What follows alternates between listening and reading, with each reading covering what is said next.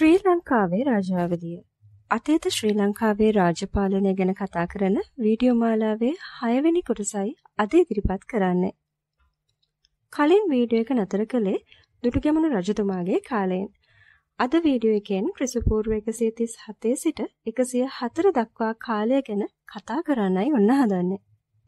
දුටුගැමුණු රජතුමාගෙන් පස්සේ මීළඟට ඔටුන්න හිමි කුමාරයා බවට පත්වෙලා හිටියේ දුටුගැමුණු රජතුමාගේ පුත්‍රයා වුණු සාලිය කුමාරයයි.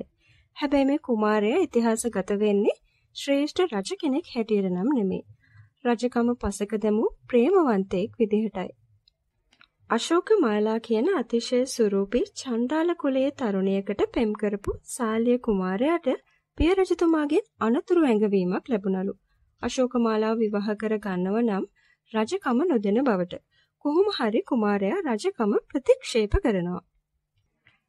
ඉතින් සිංහාසනයට උරුමකම් කියපු කෙනෙක්ට හිටියේ දුටුගැමුණු රජතුමාගේ සහෝදරයා වුණු සද්දාතිස්ස කුමාරයා විතරයි.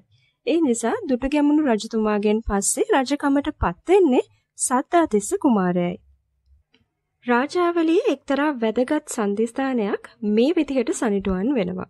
දුටුගැමුණු රජතුමාගෙන් පස්සේ එතුමාගේ දරුවන් වෙනුවට සද්ධාතිස්ස රජතුමාගෙන් ඇතිවුණු පරම්පරාව ලංකාවේ රජ පෙළපතට එකතු වෙනවා. සද්ධාතිස්ස රජතුමාට දරුවන් හතර දෙනෙක් ඉඳලා තියෙනවා.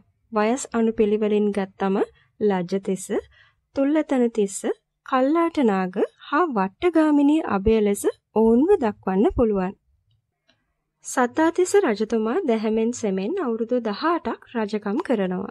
එතුමාගෙන් පස්සේ රජකම පැවරෙන්නේ ඔහුගේ දෙවන පුත්‍රයා වුණු තුල්ලතන තිස්ස කුමාරයාටයි. මෙතුමාට සංඝයා වහන්සේලාගේ අනුදැනුම වගේම අනුග්‍රහය ලැබෙනවා. කොහොම වුණත් තුල්ලතන රජතුමාට වැඩි කාලයක් රජකම් කරන්න ලැබෙන්නේ නැහැ. මාස දෙකකටත් වඩා අඩු කාලයක් තමයි එතුමා බලයේ රැඳෙන්නේ. සත්තාතිස්ස රජතුමාගේ වැඩිමහල් පුත්‍රයා වුණු ලජ්ජතිස්ස කුමාරයා අතින් තුල්ලතන තිස්ස රජතුමා ඝාතනය වෙනවා. තමන්ගේ සහෝදරයා ඝාතනය කරලා සිංහාසනය පැහැරගත්ත ලජ්ජතිස්ස රජතුමා අවුරුදු 9ක් රජකම් කරලා මරණයට පත්වෙනවා. ඊට පස්සේ රජකමට පත්වෙන්නේ සද්දාතිස්ස රජතුමාගේ තුන්වෙනි පුත්‍රයා වුණු කල්ලාටනාග කුමාරයයි. මෙතුමාගේ කාලය රට අභ්‍යන්තර අරගල වලින් පිරුණු අස්ථාවර කාලයක් කියලා කිව්වොත් නිවැරදි. මේ කුමන්ත්‍රණ මැද්දේ කල්ලාටනාග රජතුමාට රජකම් කරන්න ලැබෙන්නේ අවුරුදු 5ක් විතරයි.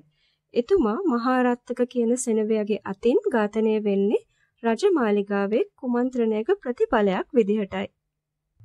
වැඩි කල යන්න කලින් මහාරත්තක සෙනවියාව ඝාතනය වෙනවා සද්දාතිස්ස රජතුමාගේ බාලම පුත්‍රයා වුණු වට්ටගාමිනී අබේ කුමාරයා අතින්.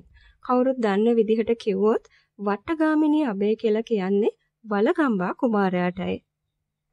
වලගම්බා රජතුමා තමන්ගේ සහෝදරයාගේ බිසව වුණු අනුලා දේවිය තමන්ගේ අග බිසව බවට පත් කර ගන්නවා. ඒ වගේම කල්ලාටනාග රජතුමාගේ පුත්‍රයා වුණු මහාචූලි මහාතිස්ස කුමාරයව තමන්ගේ දරුවෙක් විදිහට රැකබලා ගන්නවා. මෙතනදී තවත් එක් දෙයක් සඳහන් කළ යුතුමයි. බලගම්බා රජතුමා රජ වෙන්න කලින් ඔහුගේ බිසව වුණේ සෝමා දේවියයි.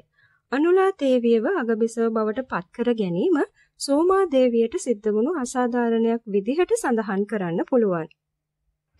කොහොම වුණත් Tamanගේ සහෝදරයා මරපු සෙනවියාගෙන් පලි අරගෙන ඔහුගේ පවුලත් බාරගත්ත වලගම්බා රජතුමා සිංහල රාජාවලිය ආයෙමත් හරි මාර්ගයට ගන්නවා. හැබැයි වසරක් ගත වෙන්නටත් කලින් තවත් විශාල කරදරයකට එතුමාට මුහුණ දෙන්න සිද්ධ වෙනවා. ඒ ගැන ඊළඟ වීඩියෝ එකේදී කියන්නම්. එහෙනම් ඉතින් ගිහින් එන්නම්.